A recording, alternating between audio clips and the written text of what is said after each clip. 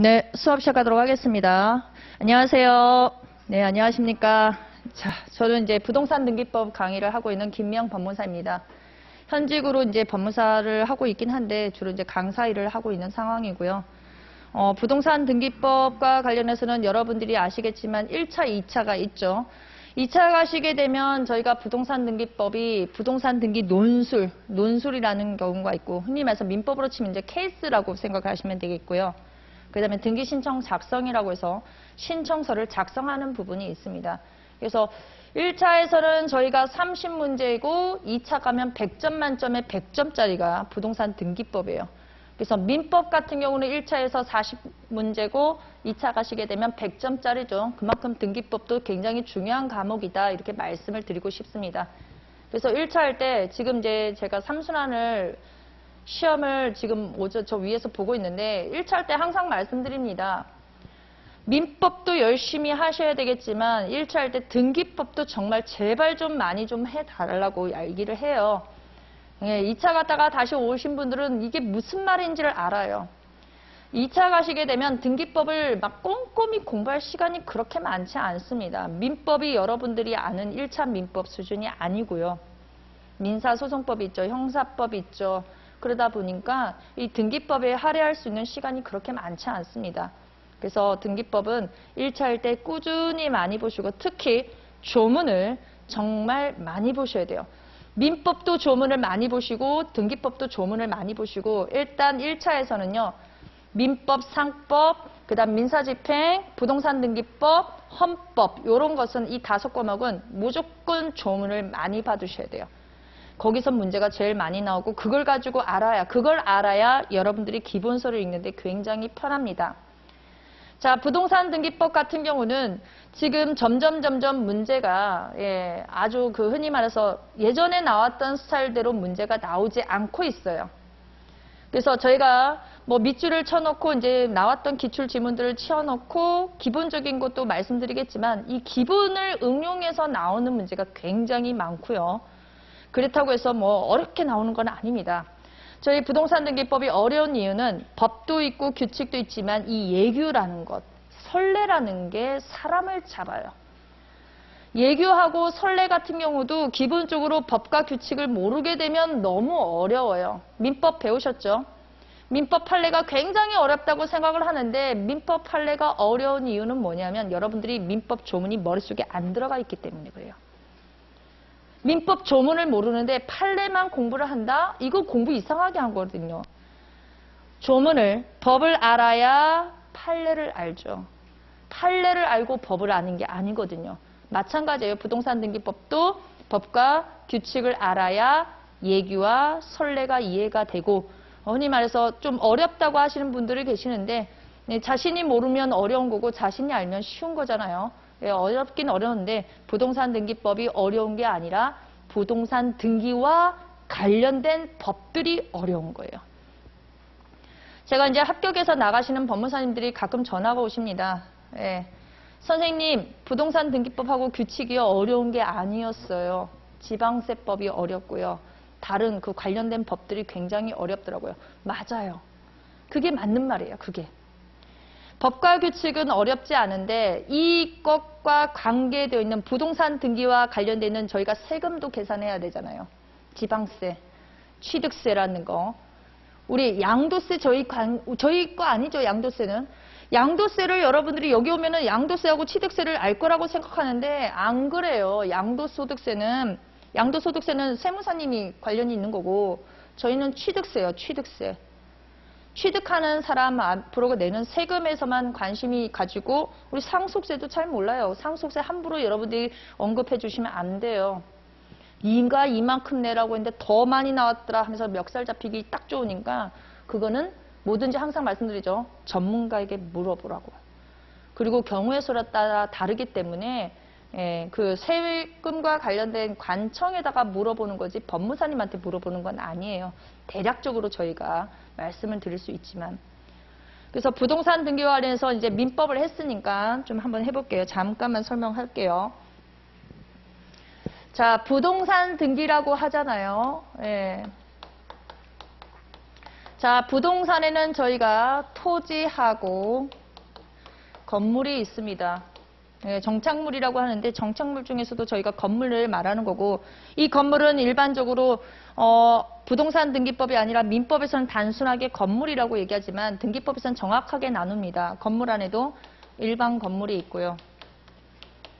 우리 학원 건물 같은 거요. 일반 건물이 있고 집합 건물이라는 게 있어요. 집합 건물 같은 경우는 이 아파트, 오피스텔, 빌라 이런 거를 생각하시면 될 것 같고요.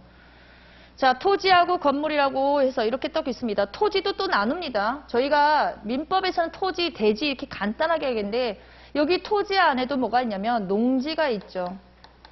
그 다음에 토지 거래 허가 구역이라는 게 있고요. 외국인이 토지를 취득하게 되면 토지 취득 허가 구역이라는 게 있어요.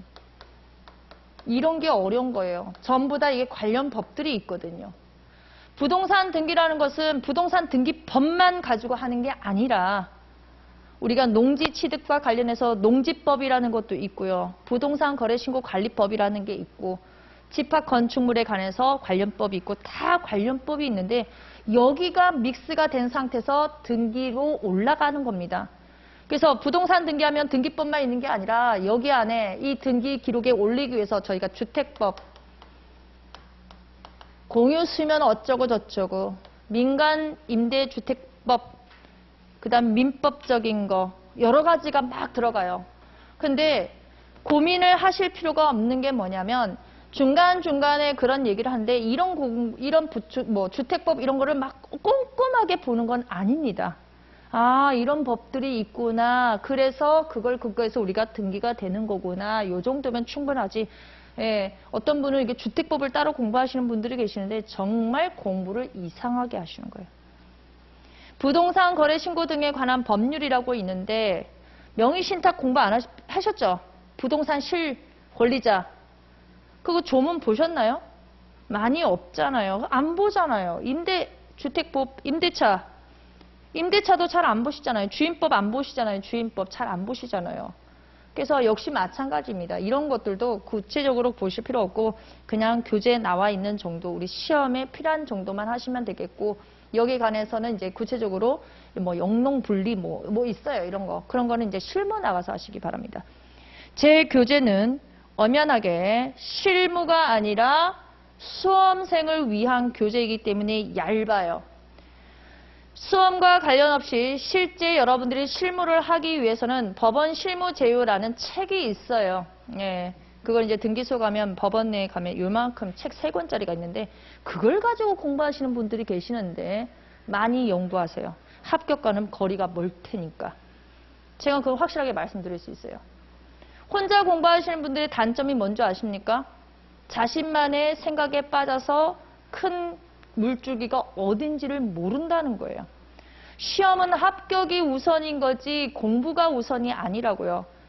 그래서 합격에 맞춰서 제가 제 교재를 만들었고 아 이런 것들이 있지만 이 등기법 책 안에 다 있다고 보시면 될 것 같습니다.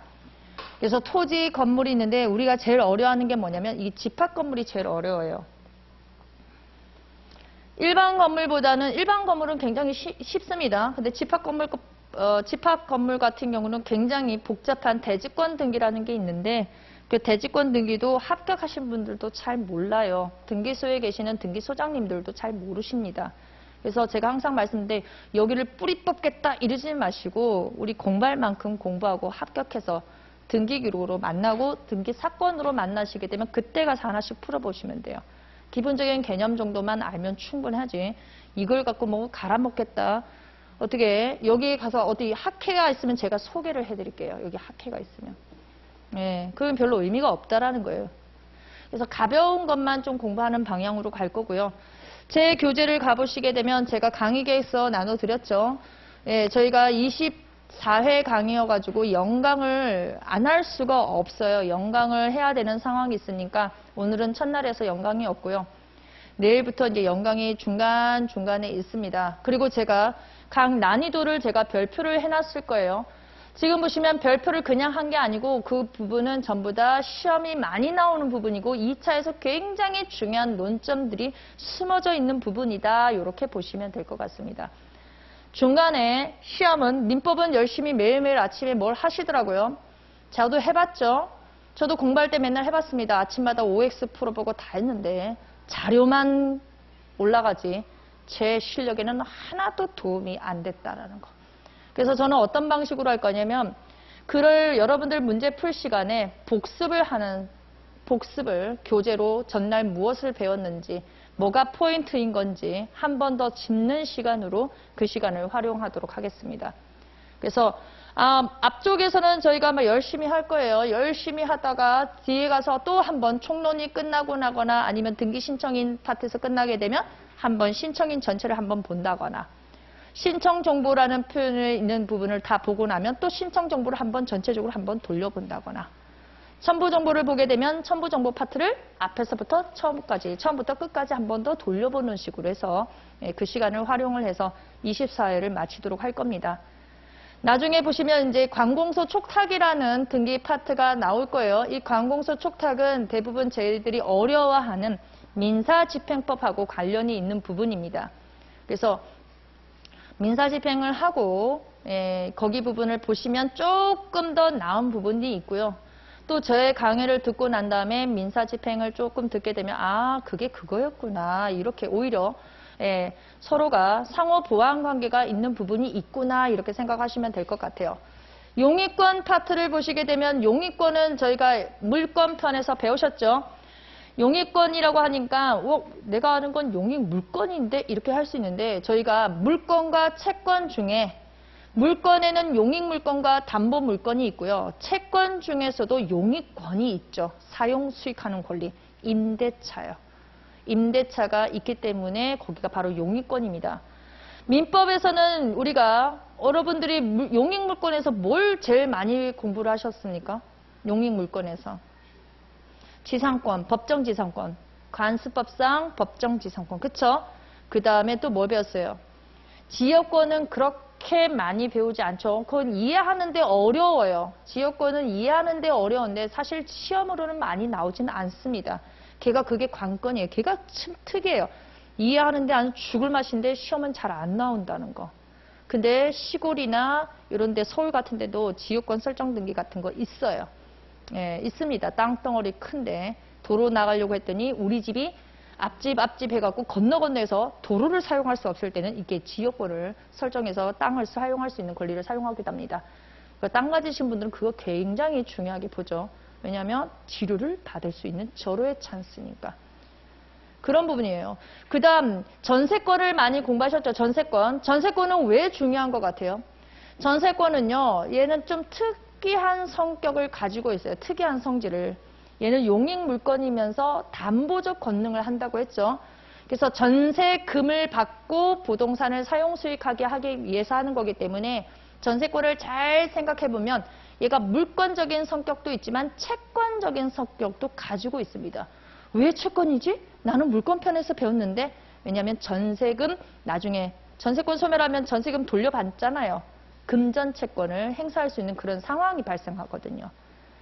근저당하고 저당권, 민법에선 저당권 등기를 저당권과 관련해서 굉장히 공부를 많이 했겠지만 사실 실무는 저당권이 없습니다. 실무는 저당권이 아니라 근저당 설정 등기가 제일 많아요. 그래서 민법에서 자꾸 저당권, 저당권 하는 것은 저당권과 근저당권이 거의 흡사한 성격을 가지고 있기 때문에 저당권을 배우게 되면 자동적으로 예, 근저당을 알 거라고 생각을 하고 하는데 실무는 저당권은 없어요. 은행을 따라가시면 돼요. 은행에서 대출 주는데 누가 은행에서 저당권 설정을 합니까? 은행은 절대로 저당권 설정하지 않습니다. 뭐 합니까? 근저당 설정을 하죠. 근저당권 설정. 우리가 일반적으로 돈을 빌려주게 되면 대부분 근저당 설정 안 합니다. 예, 차용증 받고 끝내잖아요. 근데 은행은 죽어라고 근저당 설정 안된 이유가 있어요. 민법에서 여러분들이 돈을 빌리게 되면 어떻게 합니까? 나는 금전 청구를 할 수 있는 사람입니다. 그거 갖고 청구를 할 수 있지만 우리가 강제 집행은 할 수가 없어서 소송을 들어가야 된단 말이에요.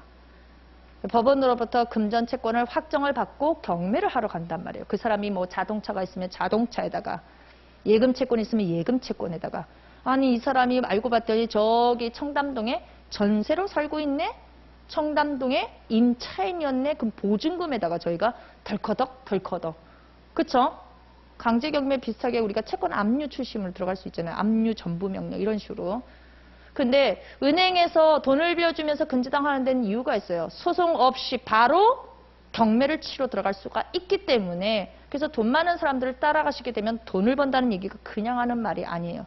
시간이 금인 걸 줄여주는 게 바로 근저당권 설정이거든요.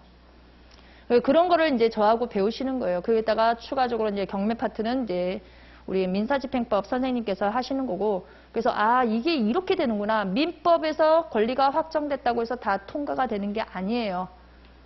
예.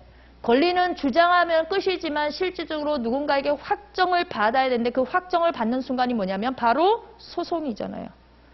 소송을 통해서 확정을 받았으면 액션을 하는 방법이 뭐냐? 이게 부동산이면 등기 사건으로 빠질 수도 있겠지만 이게 금전채권자면 경매로 빠질 수가 있거든요.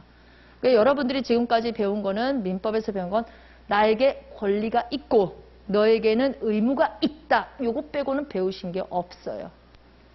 권리가 있으면 행사를 해야 되는데 부동산과 관련해서 권리를 행사하는 방법을 저하고 배우시는 거고. 그쵸? 저하고 배우시는 거예요. 내가 이 사람한테 금전 채권을 가지고 있는데 이 사람이 지금 금전이 없대요. 그래서 어떻게 해요? 소송을 통해서 그건 민사소송법에서 배우시는 거고.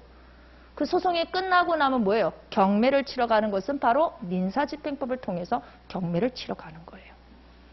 근데 등기법이라는 것은 뭔가 결과물이 등기다 이렇게 생각을 하시면 되는 거예요. 그래서 권리 확정은 민법에서 배우신 거고 권리를 실행하는 방법에 대해서 저하고 민사집행법 선생님이 그 실행하는 과정에서 말이 안 통하게 되면 주먹이 나가는 게 아니라 뭐예요? 소송, 민사소송을 통해서 해결 보고 거기에 대해서 정리를 하는 방법이 바로 등기법과 민사집행법입니다. 그래서 우리가 법을 공부할 때는 왜 공부하는지 몰라요. 1차생들한테 대부분 물어보면요. 과목도 모르고 문항수도 모르고 들어오시는 분들이 굉장히 많아요. 아니 사업을 해도 그렇게는 안 할 겁니다. 그쵸? 사업을 해도 그렇게 하지 않는다고요. 근데 어떻게 수험생들은 들어올 때 도대체 몇 과목인지 몇 문제인지 이게 시험이 지금 난이도가 어느 정도인지 모르고 나는 법무사에 뜻이 있습니다 하고 밀어들고 머리를 밀고 들어오시는데 정말 이상한 거죠. 정말 뜻이 있다면 시장 조사를 하셔야죠. 시장 조사를. 법무사 과목은 어떻게 될까? 아 그럼 학원비는 얼마 정도 될까? 이거 대략적으로 이거 학원 합격하는 데까지 이거 어디까지 흔히 말하는 구라청들이 너무 많아가지고 그쵸? 거짓말 치는 사람들이 많다고요. 단기가 있고 중기가 있고 장기. 잘 생각해 보세요.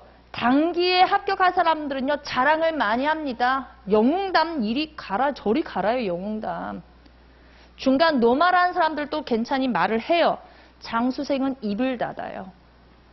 너무 창피하니까 너무 오랫동안. 그러니까 여러분들이 속는 거예요 단기에. 짧은 기간에 합격했다. 짧은 기간에 합격한 거는요 여러분들 걱정하잖아요. 그런 사람들이 일을 할 수 있을까? 일 잘한다니까요. 걱정하지 마시고 일단 합격하는데 꽂히는데 우리가 노말한 연수가 있어요 노말한 연수가 평범한 연수가 있는데 그거를 여러분들이 머릿속에 생각해 봐서 아 내가 생각하는 연수하고 조금 다를 수가 있어요 그러나 그게 팩트예요 그게 normal한 그 연수가 팩트입니다.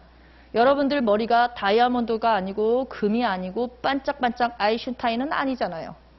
그쵸? 너무 평범한 머리인데 어느 순간 밖에서는 평범한 머리가 여기만 오면은 영재로 둔갑하시는 분들이 굉장히 많으신데 영재는 여기서 계속 앉아 계시더라고요.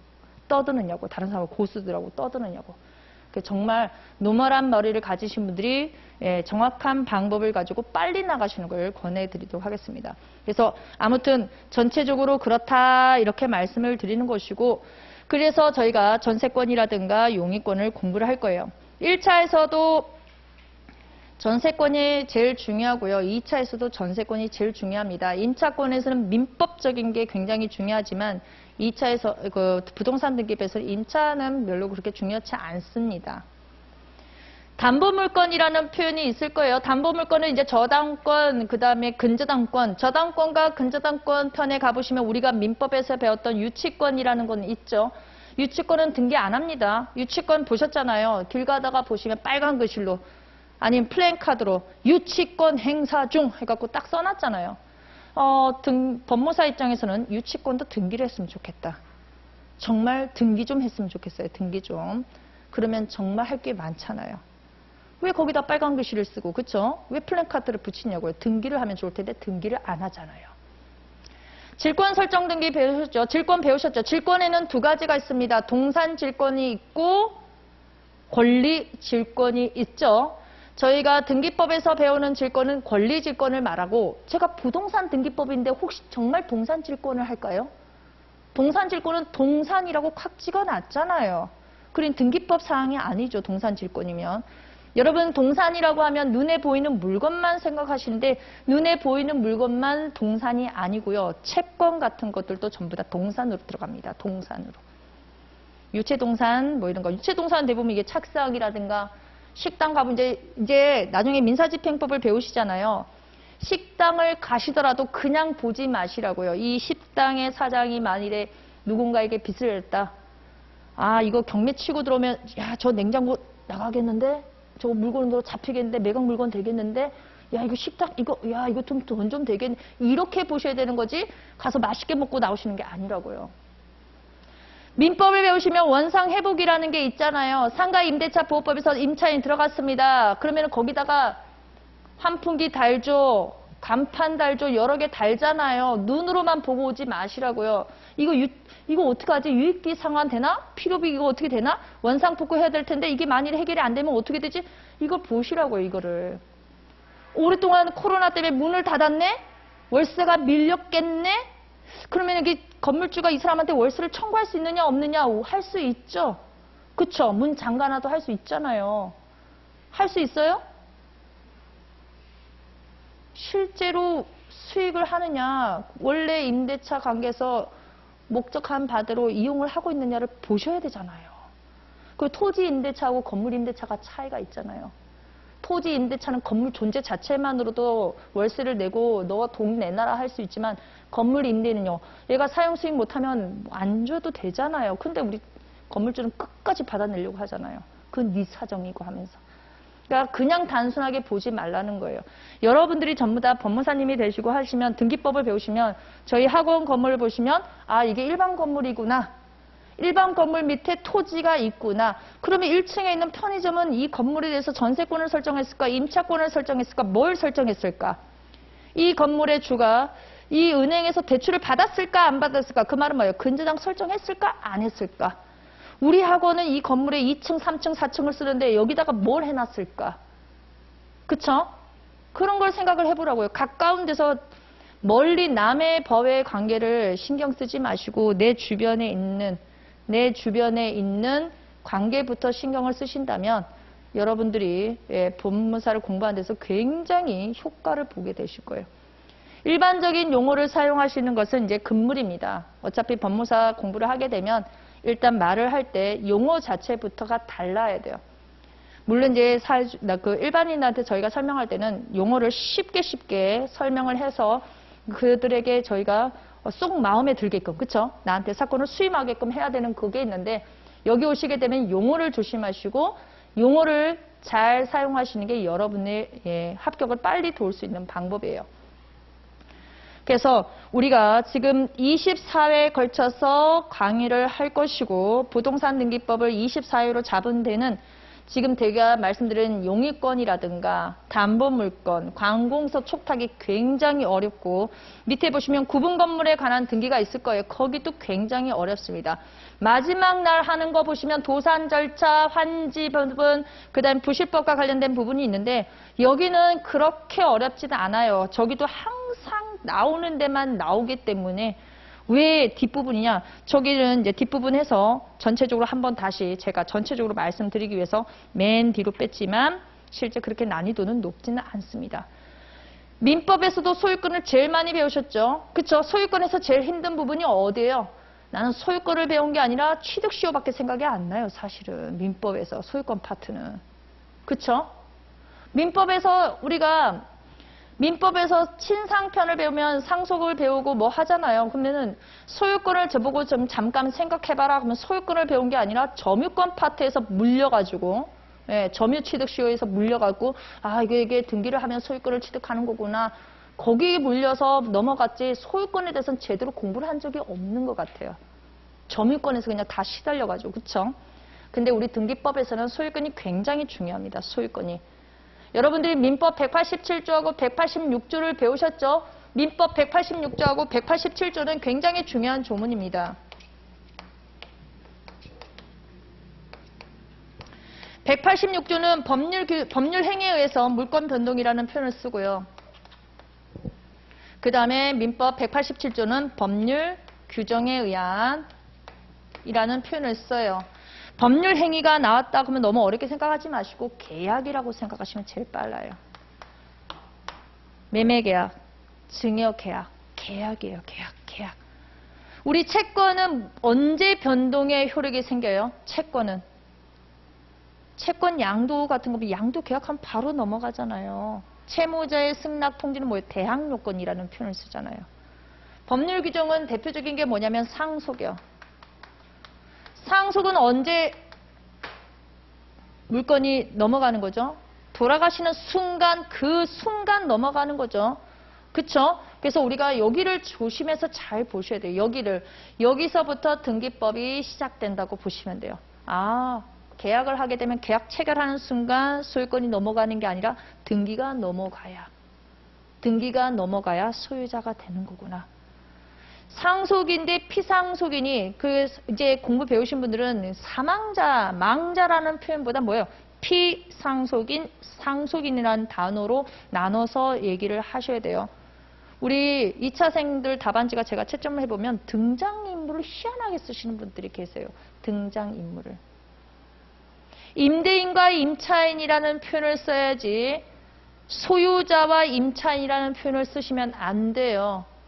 임대인은 꼭 소유자가 아니어도 되죠. 어떻게 되지? 뭘 어떻게 되기는 어떻게 돼요? 남의 땅에 남의 그 부동산 사가지고 자기 임대 받고 또 임대를 놓을 수 있잖아요. 돈 먹고 돈 먹는 사람들이 있더라니까요. 예, 민법이라든가 민사집행이라든가 등기법을 잘 해놓잖아요. 여기에 돈 받쳐요. 딱 대놓고 해서. 예, 요즘에 뭐 재테크 한다, 뭐 어쩌고 뭐 비트코인을 사니 주식을 사니 이런 것도 좋은데 젊으신 분들은요 민법 공부랑 민사집행 공부를 잘 해두세요. 미천이 없어서 그지 흔히 말해서 시드머니가 없어서 저희가 투자를 못 하고 있는 거지. 알아도 못 써먹는 저 같은 사람도 있잖아요. 여기 알아서 써먹어서 나가서 일을 해야 되는데 여기에서 강의를 하고 있으니 돈이 벌리겠냐고요, 제가. 전부 다 민법하고 강제집행, 민사집행은 전부 다 돈이니까 눈을 정말 나이 있으신 분들은요, 돈 좀 있으신 분들은 그걸 가지고 공부를 해서 합격해서 나가시더라고요. 우리 시험은요, 돈이 있는 곳에 시험 문제가 있다고 보시면 돼요. 돈이 있는 곳에. 눈에 안 보이죠? 돈이라고 써야 돈으로 보이죠, 여러분들은. 채권 양도도 돈이에요. 채권 양도도. 은행에서 누군가에게 대출해 준데 이 사람이 안 갚아요. 은행에서 이 사람 쫓아다니고 쫓아다니고 쫓아다닌 것보다 힘든 거 힘드니까 뭐예요? 다른 추심업체에다가 채권 넘기잖아요. 그게 뭐예요? 채권 양도잖아요. 채권 양도. 그럼 추심업체에서는 제가 저 사람한테 1억을 줬어요. 예, 안 갚습니다. 1억에서 팔지 않아요. 1억에다가 7천에 팔아요. 그러면 이 7천 파는 사람요. 또 쫓아낸다 안 되면요. 그 다음에 또 내려가서 맨 마지막에 세 번째 가서 이 사람의 돈 받았을 땐요. 1억짜리를 5천 원만 받아도 남는 장사를 하는 거라고요. 이걸 우리가 채권 양도라고 아주 고상하게 표현하니까 그렇지만 실질적으로 전부 다 돈이에요. 돈, 돈, 돈, 돈, 돈. 합격생의 대부분은요. 나이 많으신 데는 이유가 있어요. 젊은 사람들은 스킬이 좋고 문장으로 작살을 내지만 나이 드신 분요 이게 돈이라는 걸 알기 때문에 돈을 중심으로 공부하시게 되면 굉장히 빠른데 강사님도 돈이라고 안 얘기죠. 법 공부하면 돈이라고 하면 되게 저급하게 보시는데 저급한 게 아니에요. 여러분들이 여기 오신 건 돈 많이 벌려고 온 거지 남 재능 기부하려고 오신 건 아니잖아요. 그렇죠? 그래서 돈을 중심으로 해서 보시는 게 제일 좋습니다. 이것도 돈이고 이것도 돈이에요. 그래서 우리는 여기와 관련해서 이걸 중심으로 해서 부동산 등기법과 이제 부동산 등기 규칙을 통해서 아 등기를 어떻게 등기를 하지 않더라도 소유권이 넘어가지만 처분 행위를 하려면 소유권을 그쵸 이전 등기하라는 표현을 쓰잖아요. 등기를 마치면 마쳐야 뭐 처- 처분 행위를 할 수 있다. 그런 표현들을 이제 만나시게 될 겁니다. 그래서 전체적으로 부동산 등기법은요. 양은 굉장히 많으나 수험적으로는 양이 많지가 않다. 예. 그리고 보- 올해 지금 이제 실제 말씀을 드리면 지금 법무사 업계라든가 여러분들도 아시겠지만 올해 집값이 굉장히 많이 뛰면서 나홀로 등기하시는 분들이 굉장히 많습니다. 나홀로 등기. 나홀로 등기를 많이 하게 된다는 것은 이제 취득세라든가 세금이 많이 올라가니까 법무사에게 등기 신청 사건을 맡기지 않겠다. 그런 얘기에서 구청이라든가 등기소에서 민원인의 편의를 도모하기 위해서 열심히 안내 책자도 만들고 안내도 굉장히 많이 하고 있대요. 그러면 등기법을 왜 배우냐고 말씀하신데 등기법이 등기 치려고 등기 신청하려고 배우는 게 아닙니다. 등기법을 배우는 이유는 뭐냐면 민법이든 민사소송이든 경매든요 권리를 분석하기 위해서 저희가 등기법을 배우는 거예요. 권리 분석. 등기 신청하는 것을 가지고 등기가 되게 되면 권리 분석을 위해서 저희가 등기법을 배우고 어디 매매 계약만 있냐고요. 저희가 등기가 상속도 있죠. 수용도 있죠. 예, 여러 가지가 있기 때문에 특히 외국인 제외 국민은 일반인은 건들지 못하거든요. 그런 특수 등기 때문에 저희가 등기법을 배우고 법무사 하면 딱 등기 니꼬로 등기하시면 여러분들은 법무사 자격증이 잘못 따시는 거예요. 법무사 니꼬로 등기 아니에요. 아시겠죠? 등기 기록을 잘 보는 사람이 법무사인 거지. 등기를 하려고 법무사로 되시는 게 아니라고요.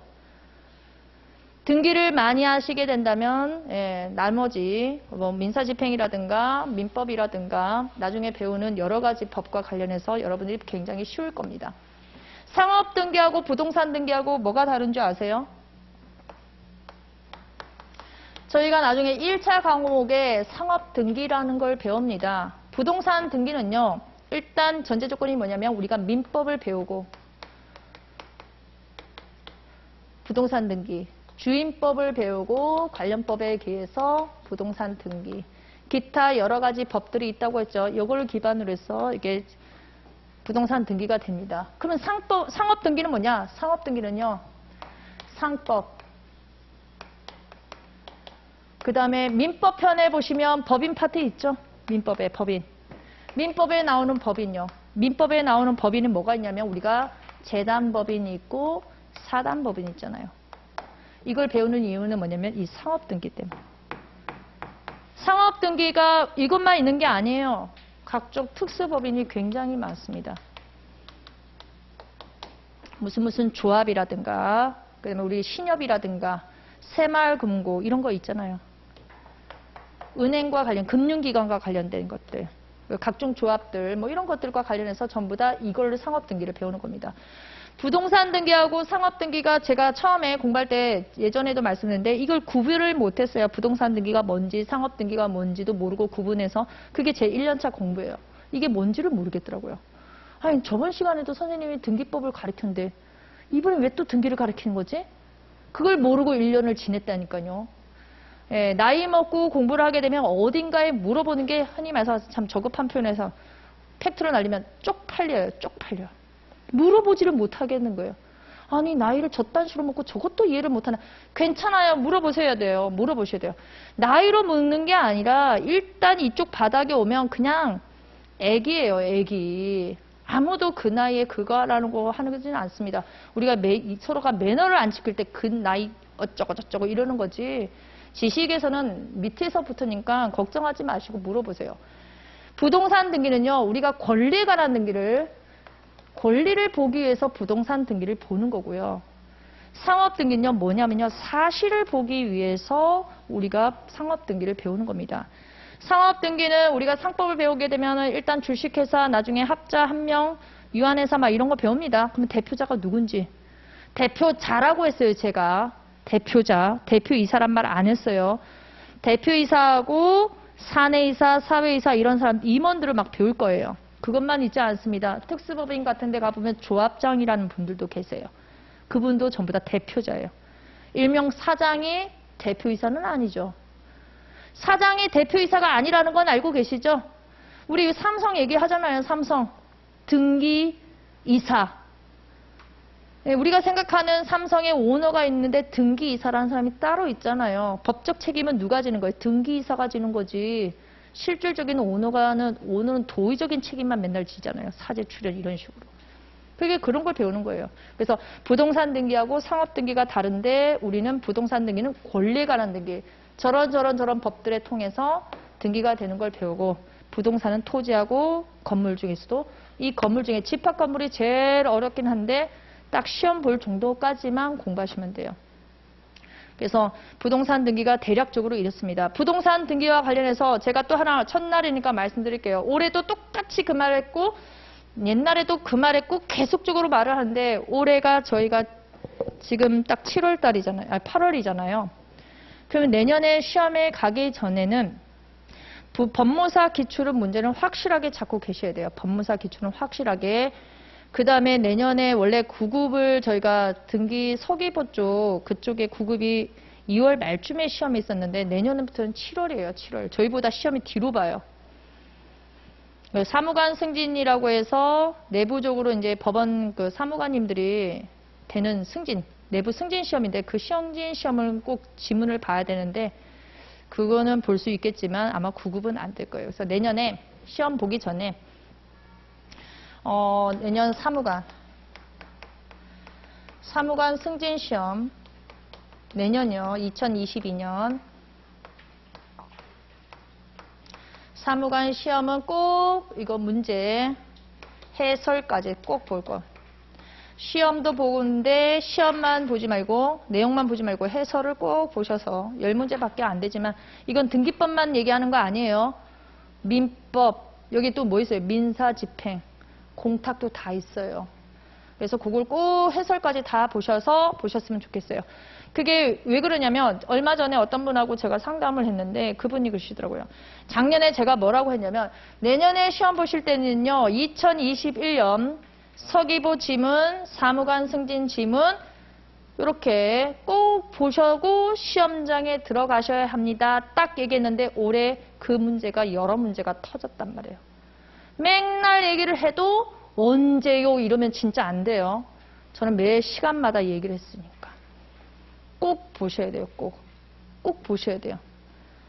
법행 풀면 되는 거, 어, 법행 풀어야 되는 거 아닙니까? 어떤 분이 물으시더라고요. 저요, 이게 공부를 하려고 하는데 법행하고요, 법무사도 있고요, 사무관도 있고요, 주사부도 있고, 능력 검증도 있는데 어떻게 공부할까요? 뭐부터 잡아야 되는 거예요? 뭐부터 기출을 잡아야 돼요? 법무사 기출부터 잡으셔야죠. 누가 법행부터 잡으래요. 법행 잡으면 머리 터지는데. 내가 가지고 있는 내가 준비하는 시험의 기출 지문부터 먼저 잡고 여유가 있으신 분들은 위로 법행으로 가시고 내가 법무사 기출을 지문을 잡았는데 법무사 기출 지문을 읽는 게 너무 곤욕스럽다. 너무 힘들다. 그럼 그 밑으로 단계로 내려가셔야죠. 공부는 그렇게 하는 거 아닌가요? 1단계, 2단계, 3단계, 4단계가 있으면 내 위치를 알기 위해서 내가 지금 준비하는 시험이 3단계다. 그러면 3단계 먼저 해보고 3단계가 문제 없다. 그러면 4단계 위로 그치? 조금 더 올라가서 위로 가서 풀고. 아 3단계도 너무 힘들어요. 그럼 2단계 밑으로 내려갔다가 2단계도 너무 어려워요. 그럼 1단계로 내려가셔서 다시 위로 올라가시면 되잖아요. 왜 법무사 딱 하는데 법행부터 해갖고 막 머리, 쥐어뜯고 계시고 포기하시냐고요? 네, 그건 방법은 좀 안 좋은 것 같고 만일에 여러분들이 가지고 계시는 객관식 문제집이 있거나 그런 것이 있다면 법무사 기출부터 확실하게 잡고 범위를 넓혀 넓혀 나가시기 바랍니다. 그게 제일 좋은 방법이에요. 제일 좋은 방법. 어, 시험은 항상 겸손하게. 옆에 있는 사람은 전부 다 성인이에요. 다 성인이고 여러분들이 만나시게 되면 다 동기, 후배가 될 수도 있겠네요. 네, 누군가는 후배가 될 수 있어요. 아니면 누군가는 사무원으로 법원 예, 공부 안 하가, 하다가 안 하시면 또 그 사무원으로 가시는데 그러지 마세요. 아예 그냥 딴 데로 가세요. 저랑 나랑 같이 공부해도 쟤는 법무사 따 뺏지바 달고 쟤는 저러고 다니는데 나는 사무원으로. 그 사람이 자존심이 상하니까 아예 딴 데로 가시기 바랍니다. 그런 거는 하지를 마시라고요. 그러니까 이왕 들어오신 거니까 따고 나가시고요. 인생에서 저도 뭐 많이 산 건 아니지만 이제 만 백, 반 100년 돼가고 있거든요. 인생에서 자신의 위치를 뒤집을 수 있는 순간은 많지가 않아요. 정말 많지 않은 것 같아요. 돈으로 뒤집을 수 있는 흔히 말하는 그 타이밍, 절묘한 타이밍을 놓치는 사람 많잖아요. 그래, 그때 그걸 샀었어 했어. 이미 지나간 거는 얘기를 꺼내지 말자고요. 우리 저희 아버지도 맨날 그 압구정을 샀었어야 돼. 이미 지나간 지가 언젠데. 그쵸? 그 의미가 없어요. 인생에 여러분의 이 순간을 바꿀 수 있는 게 이게 또 한 번의 기회가 온 거고 여러분 스스로 왔어요. 그럼 뿌리를 뽑고 가야지. 여기서 빠져나가게 되면 자, 사실 돈 많은 분들은 걱정도 안 돼요. 돈 갖고 하시면 되니까.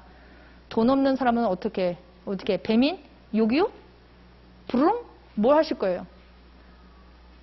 어, 그러니까 잘 판단을 해셔서 여러분의 인생에서 제일 중요한 시기니까 다시 오지 않아요. 다시 돌아가고 싶어요. 여러분하고 저의 위치를 바꿔서 제가 나이 내려가고 여러분들은 제 위로 올라오시면 제가 바꿀 의향이 있어요. 그만큼의 가치가 여- 있는 여러분들의 나이대니까 열심히 공부하셔가지고 다시 돌아오지 않습니다. 이런 좋은 기회는. 예, 왔을 때 잘 잡고 멘토 잘 잡아서 공부 열심히 하시고 내가 나이가 어떻고 저쩌고 다 필요 없어요. 모르면 무릎 딱 꿇고 물어보는 게 제일 좋아요. 아, 이렇게 해서 한 명이 쪽팔려서 여러 명이 행복하자고요. 예. 예, 거의 뭐 질문은 뭐 하찮은 것도 괜찮고 돌아가는 것도 괜찮으니까 제가 제대로 위치 원위치 시켜드릴 테니까 질문해 주시면 제가 답변해 드리도록 하겠습니다. OT는 이 정도로 하고요. 네, 잠깐 쉬었다가 수업 나가도록 하겠습니다.